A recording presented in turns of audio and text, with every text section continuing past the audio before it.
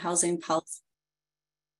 Uh, a health and housing policy analyst here in the homeless services section of Oregon Housing and Community Services.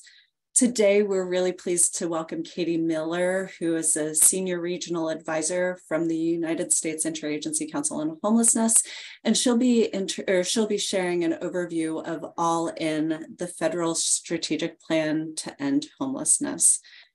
And before we jump into content today, I would like to do just a, a few quick housekeeping notes.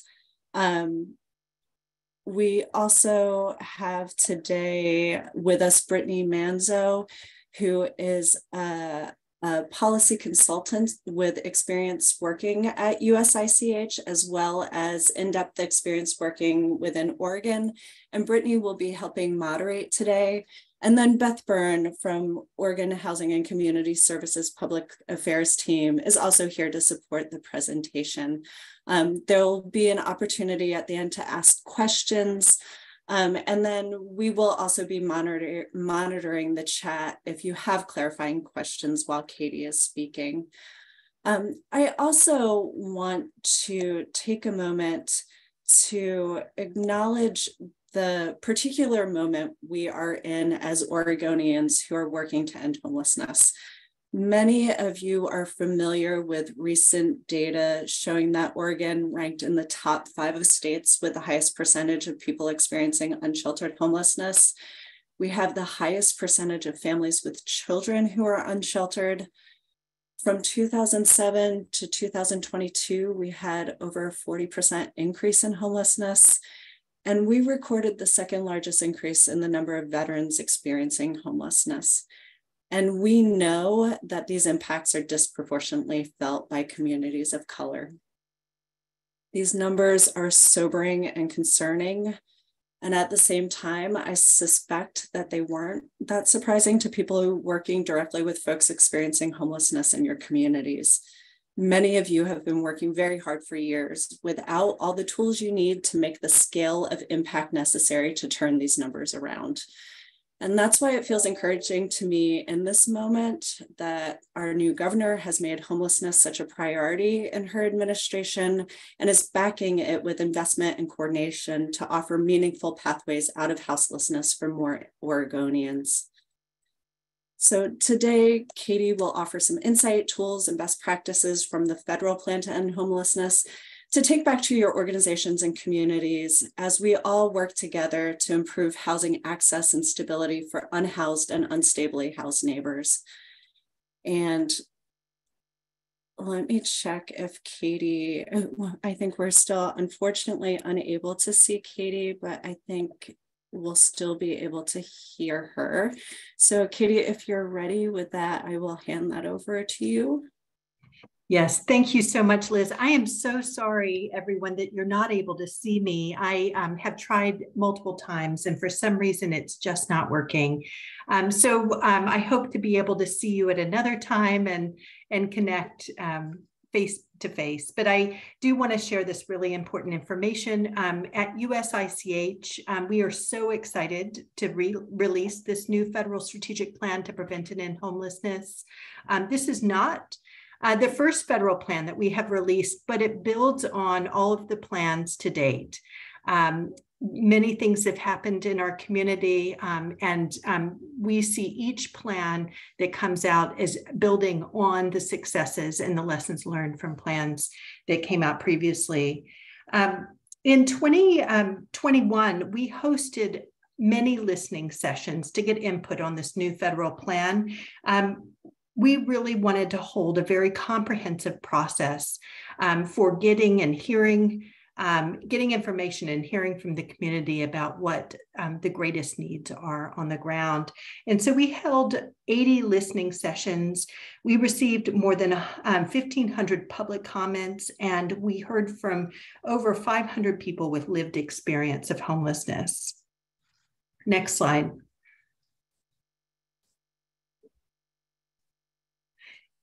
This goes through a lot of that. Also, um, we um, worked very closely with the 19 member agencies of the United States Interagency Council on Homelessness to get their feedback and buy in on the plan. And I, I should go back to say um, if you're not familiar with USICH, USICH's job is to coordinate the federal response to homelessness across 19 federal agencies. Um, that includes HUD and HHS and VA and labor, all the way to the post office. So, this federal plan is critical to help um, guide federal agencies as they do work as it touches on or relates to preventing and ending homelessness. Uh, next slide. So, while we heard a lot of things um, when speaking to communities, um, there were a number of things that were um, that really came out that were the biggest challenges that you all are facing on the ground. And some of those are, are very obvious. The lack of um, housing supply, the rising rent with slow income growth, inadequate access to support services, unsheltered homelessness that is rising in communities, and the criminalization of homelessness. Also, um, the incredible fatigue and trauma among providers and just um, the difficulty in hiring enough staff to support programs right now. Um, through the pandemic, it was very, very challenging for community based organizations and people doing the work on the ground. Next slide. The other thing, though, we heard was some great opportunities. Um, we, with unprecedented amounts of federal resources coming out through the American Rescue Plan, the CARES Act, uh, the president's um, 2023 budget. Um, we also saw a lot of commitment. The Housing Supply Action Plan, the now National Mental Health Strategy, the National Drug Control Strategy, and other executive orders. Uh, we learned a great deal from um, the pandemic and um, the work that we did over the last couple of years around creating non congregate shelter and um, shifting how um, empty or unused hotel and motels were used, emergency rental assistance, getting that out very quickly in communities, the eviction moratorium, and also cash, direct cash to people who are most vulnerable. Um, there's also a, an increased focus on racial equity. Um, the administration has um, created several executive orders related to racial equity, and then the opportunity um, for greater accountability and more equitable outcomes at the federal level. There's also unwavering dedication, a lot of um, passionate and compassionate people like you doing the incredible work on the ground. And we continue to, to move forward and work together as a team. Next slide. So, all in um, really represents um, an all of government approach um, to addressing homelessness um, it is a multi-year federal plan. It really serves as a roadmap um, for federal action. To, and it also is a hope that it will be used as a guide to help ensure that state and local communities um, have sufficient resources, policy guidance, and the tools to build effective and sustainable systems, um, both to prevent and in homelessness. We find that when everything is working well. We have clear alignment at the local, the state, and the federal level. And um, our hope is that this is driving the work at the federal level. But as communities begin to dig into this plan, we hope that you'll find that there are pieces that work for your community. And I can work with you, and others can work with you to help um, make sure that this is aligned to your work. It does not, it's not a linear plan. It's not a plan that we expect you to take page one and do page two and um, it really is um, take the pieces of it that fit to the work that you're doing now, and then um, let's work together to design and implement the strategies um, that make the most sense to where your community is currently um, focused on. Next slide. Um, the vision for the future, something that is was really surprising and exciting that came from this process with our federal partners is that uh, there's a commitment to reduce homelessness by 25% by the year 2025. This is a very, very bold goal.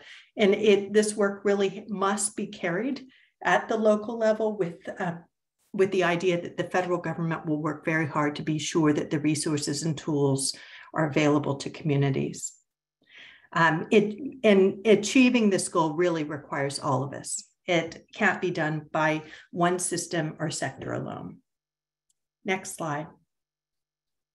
Um, one thing that you'll find um, in this um, plan is that we do not really focus on specific subpopulations. So in other federal plans, you might have read um, maybe about ending veteran homelessness by a certain date or ending chronic homelessness or youth or family homelessness. Um, what we really want to do here is focus on all populations because what we recognized and learned from those previous plans is while the federal government might have been focused on veteran or chronic homelessness, a specific community may have been focused on family and youth homelessness, and it might have been confused um, and it provided confused messaging when I'm trying to drive local efforts and investments when it wasn't necessarily timed well with the federal government. And so, what we're saying now is this really is driven by you. What are the populations and focus areas that you want to, um, based on your data, focus on? And we want to support that. And then um, we will be working to set a framework um, to reduce homelessness for all populations. And so, really looking at a more universal target um, to help communities get there and to help us get to that goal. Um, next slide. So, um, all in focuses, um, it's really built around six pillars. There are three foundation pillars, which are equity, evidence, and collaboration. And then there are three uh, solutions pillars, which is housing and supports, um, homelessness response, and prevention. Um, across these pillars, there are 30 strategies and 180 actions that the federal government will pursue to facilitate increased access to housing, economic security, and health and stability. Next slide. So I want to start um, just generally looking at these pillars, and this is something obviously we can we can dig more into um, later, and I hope that you'll take some time and read the plan. Um, but um, under the first um, of the foundational pillars, um, lead with equity, as Liz mentioned earlier, the impacts of systemic racism and discrimination have resulted in some groups, especially people of color and people with disabilities and LGBTQ populations, being disproportionately impacted uh, with homelessness. Black Americans, especially, are overrepresented. Over, oh, excuse me, overrepresented at a rate of three to one compared to the general population. So we have to build an efficient and effective response to homelessness, and um, this is going to require intentional action. So, strategies within this pillar will focus on ensuring that the federal efforts to prevent and end homelessness promote, promote equity and inclusive and authentic collaboration for decision making. We want to examine and modify the policies and requirements that have intentionally or unintentionally created and perpetuated racial and other dis- um, disparities. An example of this type of action in this pillar might be examining the barriers to compensating people with lived experience for their work and coordinating a federal TA strategy to support tribes and Native serving organizations. Um, we will also um, use data and evidence to inform decision making and policy development. This will involve strengthening the federal government's capacity to collect and use and share data. We must provide guidance and resources to help build capacity of state and local governments, tribes, Native serving organizations, and nonprofits. We want to invest in innovation and build upon research and evidence of what works. Examples of actions to pursue pursue within this pillar include um, issuing guidance on real and perceived barriers to sharing federal data at state and local levels and developing a federal research agenda. So this is under the data and um, evidence pillar. The last of our foundation pillars is collaborating at all levels. Ending homelessness will take all of us um, with the title All In every level of government, public and private organizations, philanthropy, faith based organizations, and all sectors. We must work outside of the silos that are often created, and um, we have to work towards a shared and common goal. Examples of actions that we'll pursue under this pillar include launching coordinated messaging campaigns to combat harmful narratives, and launching more place based cross agency technical assistance strategies. Next slide. In the solutions pillar, um, these really go hand in hand um, with the foundation pillars. So we need to um, scale housing and supports. Um, we know that people are most successful when the housing and the support services are directly linked and accessible to people. A true housing first model requires that we scale up both housing and supports to create systems where all people, no matter how complex the needs are, can thrive. And so um, this pillar focuses on strategies and actions to increase the supply of housing, maximize the use of existing housing assistance, and increase and strengthen system capacity to address the needs of people with disabilities, including mental health conditions, substance use disorders, and providing and promoting practices grounded in evidence, um, such as harm reduction. An example of actions to pursue within this pillar include aligning eligibility criteria across federal programs and investing in peer-led housing and service delivery models. Under the next um, the next pillar here under solutions pillars is um, the homeless response system. Um, we have to do more um, to improve the effectiveness and outcomes. Um, there will soon be announced an all of government effort being developed to address unsheltered homelessness. Um, communities across the country, and especially in the West, are really struggling with unsheltered homelessness. And we're working across the federal government to create um, tools and more support for communities around unsheltered homelessness in particular. Um, we have to look at policies related to coordinated entry and fair housing and fix what has not been working and strengthen those things that have. Um, the last pillar is on preventing homelessness. And this is a pillar where we may get the most questions. Uh, and so I want to clarify what we mean by prevention in this case. So um, we often talk about eviction prevention or prevention at the shelter door. We have some incredible models around diversion and eviction prevention, and especially the work that's been done over the last um, few years to get rental assistance out to folks to help um, prevent um, a mortgage default or to prevent someone from losing their home in an eviction. So um, in this case, um, we are talking higher upstream. So for the first time ever, um, we are really pushing on federal systems of care to prevent the inflow of homelessness as people transition from these systems. And we know um, from data that um, as someone transitions out of a jail or out of the military or out of hospitals um, or out of um, foster care, that those transitions cause um, a lot of stress in a person's life. And the risk of them becoming homeless at that time is much greater. And so we're looking at these systems of care and really wanting to prevent homelessness. As we began to set targets and goals um, under this new plan, um, while we were just really aware that we had to turn both wheels at the same time. In the past, we've been afraid to touch um, the work of upstream prevention because we didn't want to avert, divert attention or resources away, away from the immediate crisis of homelessness. And but we now know we have to do both. So um, while the work that you all are doing and the work that is being done around the country right now is incredible. We house approximately 900,000 people every year that exit homelessness, but 930,000 people fall into homelessness every year. So, unless we address the upstream inflow of homelessness, we aren't going to get anywhere. And that is, again, with um, the incredible programs, the incredible investments that we currently have in place. And so, this is where this new um, pillar is going to come into place as we again really outline for all of the federal agencies um, their role in preventing homelessness. And then um, implementing all in, next slide.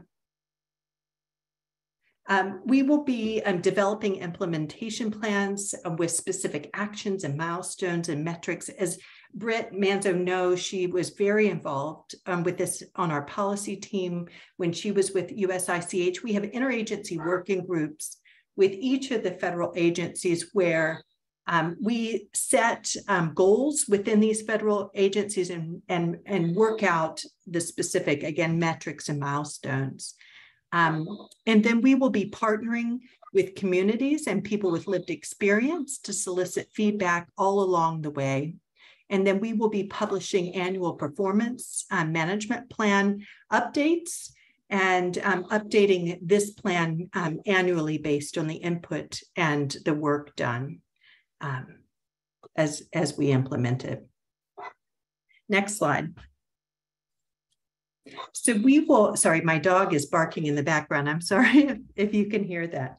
Um, we will be measuring progress um, based on the overall size of homelessness, um, people including subpopulations experiencing sheltered and unsheltered homelessness, racial disparities in homelessness, children and youth experiencing homelessness during the school year, the length of time homeless, returns to homelessness, and um, people um, who become homeless for the first time, and then the placement and the retention of housing from street outreach.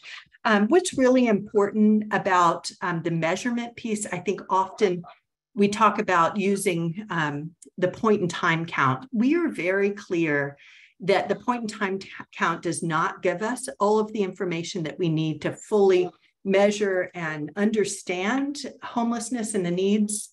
Um, and so we will be um, looking at many different data sets um, within um, our ability, you know, within the federal agencies um, to understand and um, and and talk about uh, the numbers better. Next slide. Katy, before you go to the next slide, there's a question in the chat about whether the federal plan uh, identifies any goals around uh, housing development. So the question is, with the goal of decreasing homelessness by 25%, does this plan share more information about housing development? Specifically, is the goal to build more affordable housing development versus mixed income housing? And what feels like more of a priority? Um, if given the opportunity for local jurisdictions to develop housing with properties they own, what feels like their focus should be on this on the type of housing they develop? That's a really great question. We know that it's going to take all of it. So we cannot build our way out of this. We have to look at all of the options. So we are seeing some incredible innovation in communities around, again, purchasing old hotels and motels. We're seeing some incredible modular construction where um, people are able to um, cut the timelines for um, building um, but we, I, it really is going to take uh, a range of options and it's a range of solutions, um, community by community and um, population by population. I hope that helps. Thank you.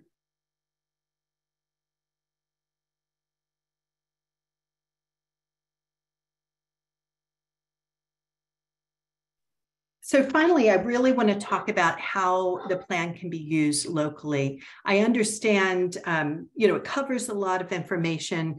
Um, there are a lot of pieces, but again, what we're really hoping is um, that while this is really focused on driving the work of the federal government, that there are pieces of it that you can leverage based on um, the current climate and the work that you're doing locally. And so I'd love um, to have continued conversations with you about how we can do this and um, what pieces of the plan you might want to dig into and, um, and the work that we can do best at the federal level to support your local action.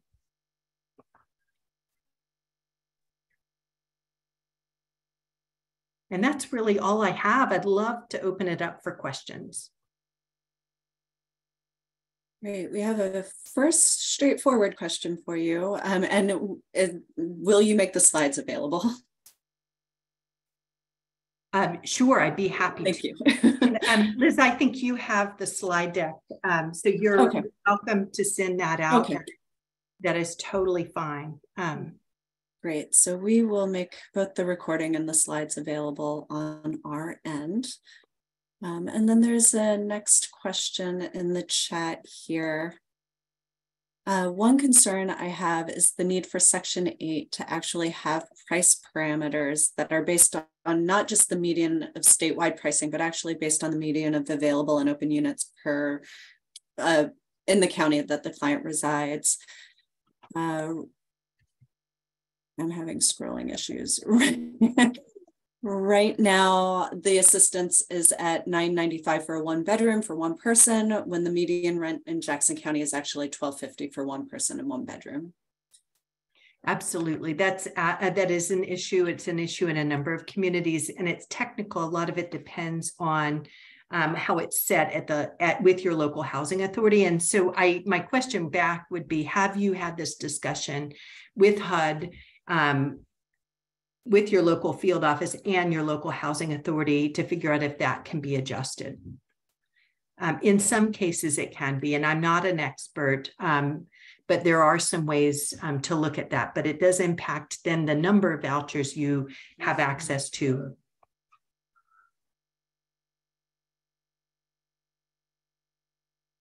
Other questions? Do you expect more funding from Congress for homeless services? If not, how will federal agencies shift existing funding to make a bigger impact? That is a great question. We absolutely want uh, more investment from Congress. Unfortunately, we can't control that um, as a federal agency, but our asks are bold to Congress, and um, and the administration is showing um, very bold asks as well as it relates to homelessness. There is a lot of um, focus on both affordable housing and on addressing the issues of, un- of homelessness.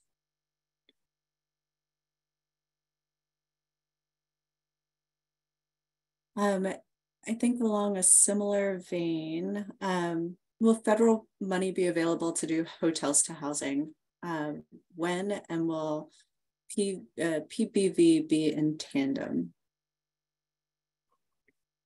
Um, that's a question, a great question. I am not sure what additional resources will come out. Um, I think you know many communities have used um, federal money to help with the purchase of hotels, and then they've also leveraged um, state resources and other local dollars. And so I um, I am not sure what additional resources are going to come um, in the future Thank you. And I think someone also is adding to the chat uh, that this is definitely a topic of interest and that there was some recommendation to go to our state representatives to talk about that as an option um, that providers would like to have. We do know in some states where um, the state prioritized this, um, there was a lot that came from that. So, for instance, in the state of California, where the state made a large investment in the purchase of hotels and motels and then the conversion um, to permanent housing later that um, that really helped communities to be able to do that. Um, but we've also seen this happening in other states across the country.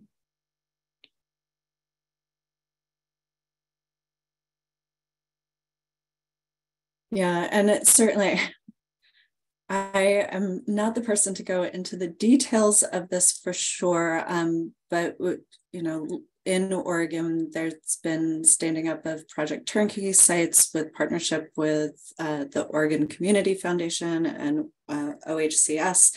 And so there are some examples of that happening right now on Project Turnkey 2.0. And so if folks would like more information about that, we can also also get that out. Um, couple more questions in the chat. Um, how will the wealth gap be addressed in conjunction with housing? How can we further support folks who have jobs, but they'll not be able to self sustain after exiting a program despite working full time? That's a brilliant um, question, and I, you know, again, uh, more to come um, as um, the administration grapples with this. But what I will see, say is that we're seeing in a number of communities that are um, implementing basic incomes. Um, so, for instance, in um, Denver and uh, cities in California, that they are based, um, they are implementing projects where um, universal basic income is available to low income people and people experiencing homelessness um, to help with um, the income disparity. Thank you. This is a question about prevention um, and whether you know if HUD will increase the vouchers for holders to be able to access market rate rentals. Um, due to rising rent costs, many voucher holders in our community are unable to access and utilize housing. I think this is an issue of an affordable affordability coming up in many of the questions here that that Oregon is is facing in a big way right now. Yeah, that is really important. Um, the voucher payment standard, um, again, there is a way to talk to your housing authority and to HUD about whether it can be raised based on the market in your community and in a market analysis of your community. That is something that I really recommend you having a conversation with the housing authority about. Sometimes it varies from the type of voucher to the type of voucher. And again, I'm not an expert.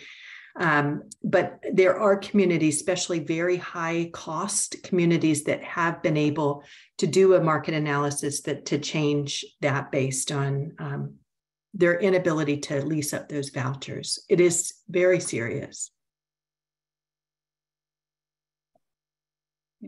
There's another question here. Smaller and rural communities often have less structural capacity and or political will to pursue and utilize funding available at the state and federal levels. Can you share strategies USICH will implement to help local areas overcome the access issue? Um, that's a great question. And I, as your senior regional advisor working with the state of Oregon, I'd love to talk about some of the rural um, needs and issues that you're facing in smaller communities. I'd love to have that conversation and already have in some communities, smaller communities in Oregon. Um, also, we're so excited that um, HUD has just released money that's specific to rural homelessness, um, both unsheltered homelessness and rural homelessness, really recognizing um, that the needs of rural communities um, are sometimes just as great um, or more great than some of the issues happening in urban areas. So while we often have more connection with or hear more about um, urban homelessness, what we know is that the actual lack of housing um, and the lack of affordable housing in rural communities makes homelessness so much harder.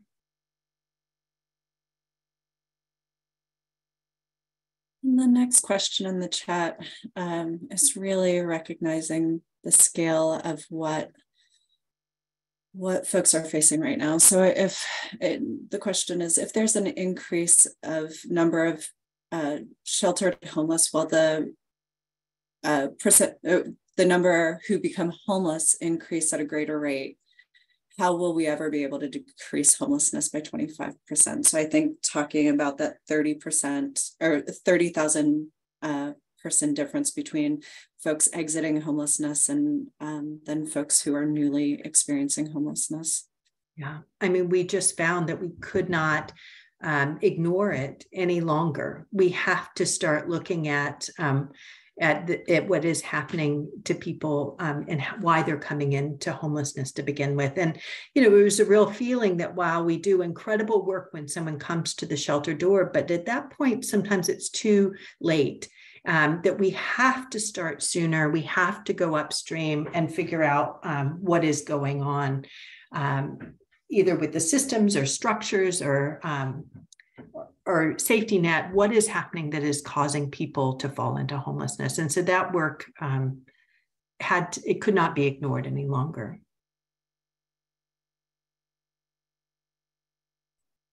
Shifting gears a little bit, uh, a question about coordinated access. So, will HUD and this plan require all homeless folks be referred to permanent supportive housing and affordable housing through coordinated access? So, is there a statement about using coordinated access in this plan or um, through HUD? I don't believe we've made a statement like that, no. I think that um, there will be work done with communities on improving coordinated entry and ensuring that coordinated entry works um, well for communities. And I know that it, it can be very bumpy in some communities. It's um, and so I think the hope is that we'll spend a lot more work making sure that these systems actually work efficiently and effectively for people who are experiencing the crisis of homelessness. And next question Will state or federal resources come available to ensure and maintain the sustainability of the physical assets built, rehabbed, converted housing units, and maintain ongoing graduated wraparound services to support the individuals housed or served? Um, serving individuals previously experiencing chronic homelessness, managing the properties, and maintaining the assets can be very expensive and labor intensive. How will this initiative support this kind of stability? Sustainability?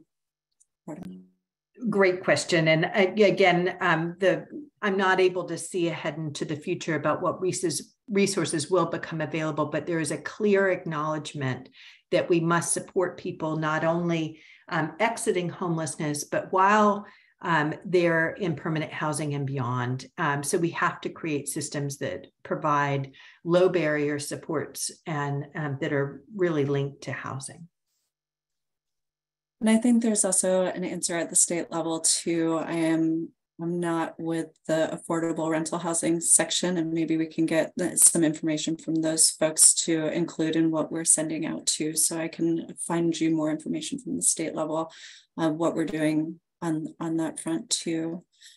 Um, and then going down in the chat, um, Chris, who works at the Housing Authority of Clackamas County, was sharing that um, when they went back to HUD to increase the fair market rents, and they were successful at advocating for that. So that's a real time example of of that actually uh, your suggestion Katy happening. And i you know a lot of my experiences in multnomah county and i know that from time to time they have been able to increase there too. So um, that is good news that that is a successful strategy.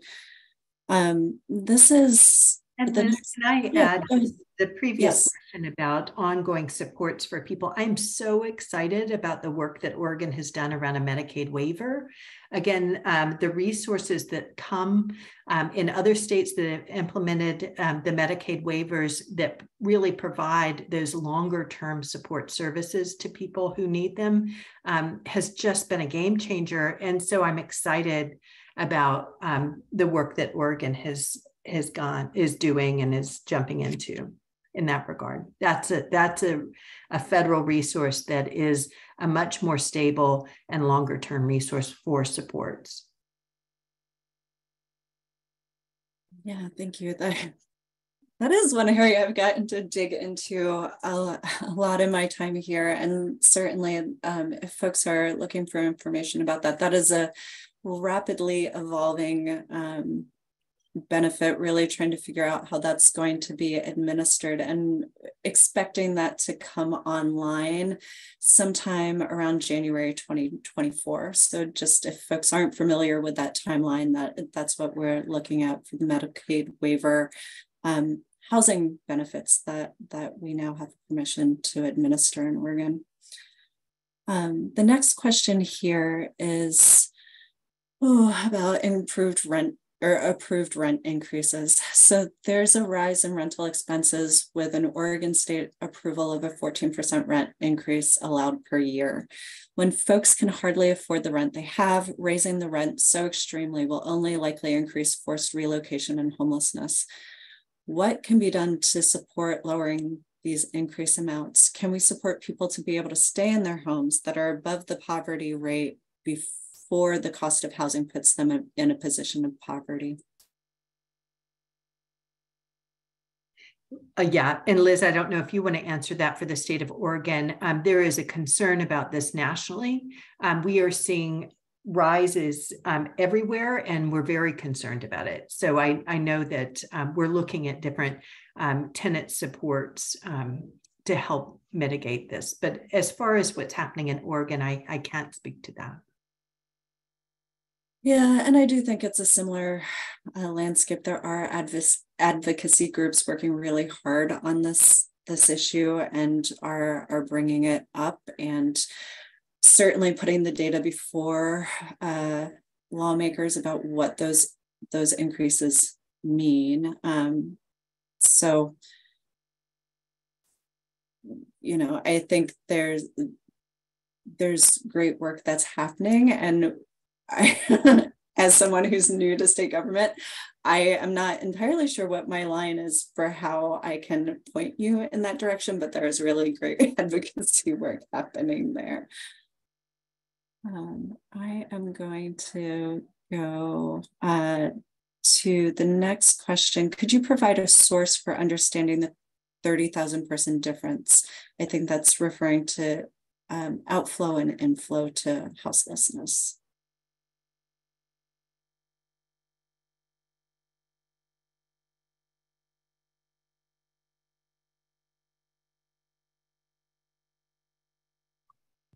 I'm sorry. Um, my I just had we are having some technical issues today.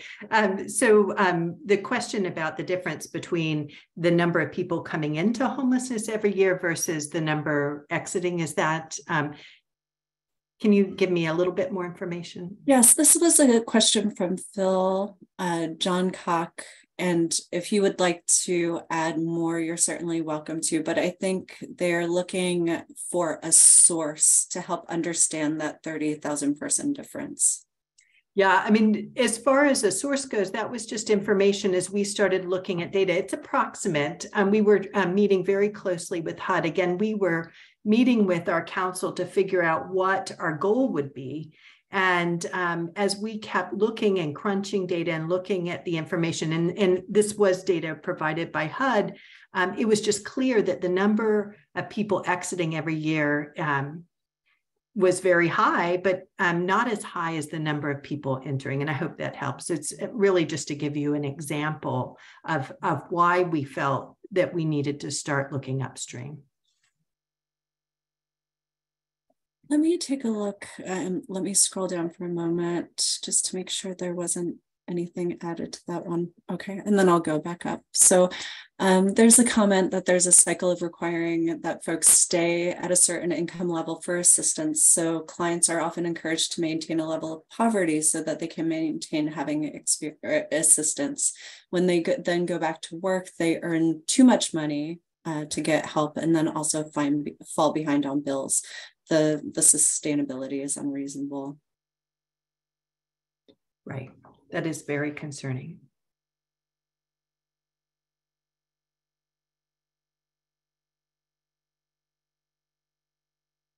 And Robin Smith added um, just a FYI, tur oh, Turnkey 2.0 is finished with applications, but will house 500 people. That is wonderful to hear. Thank you, Robin, for putting that in the chat. That's great.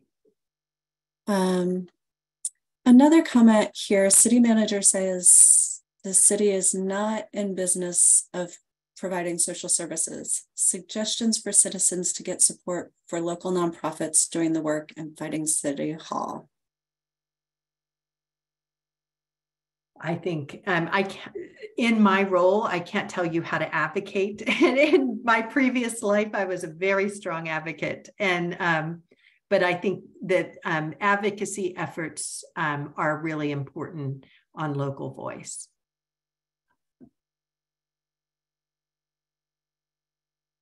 I also recognize that the COC can play a very critical role um, in um, highlighting data that makes it hard to avoid um, what's going on.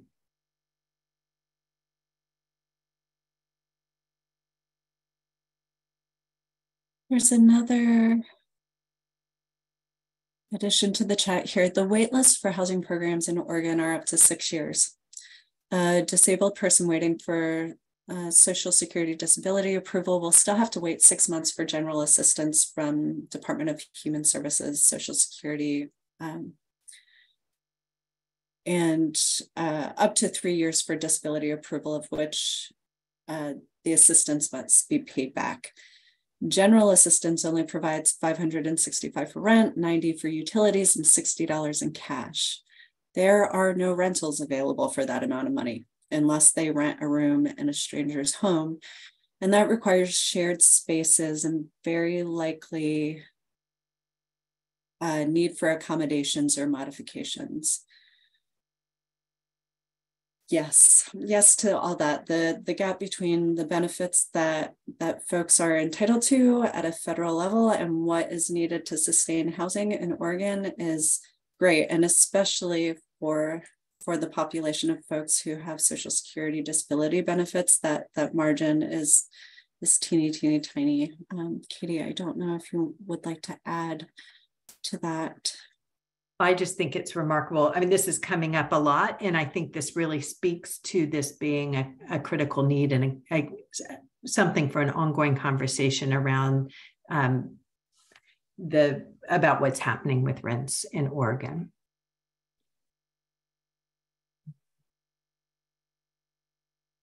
Great. Um, there's a there's a comment saying I second that sentiment. The extreme inefficiencies and underfunding in two of the big federal programs, the, the VA and Social Security Administration, that are supposed to serve people with significant disabilities, have led many into homelessness.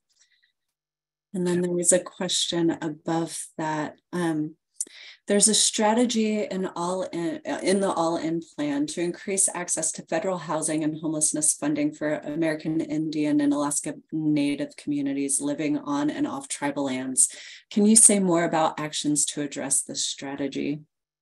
Sure. We are um, really promoting the increase in um, in resources for tribes. I think that's the best way of putting it. Um, and looking at ways to make sure that that directly um, that housing um, and those resources go directly to tribes. So that is an ongoing um, body of work that we are taking on.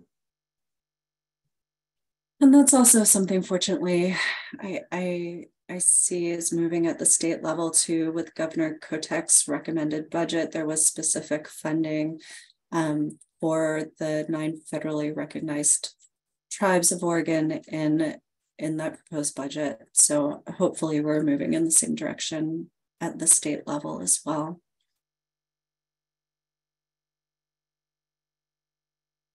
Let me scroll through here.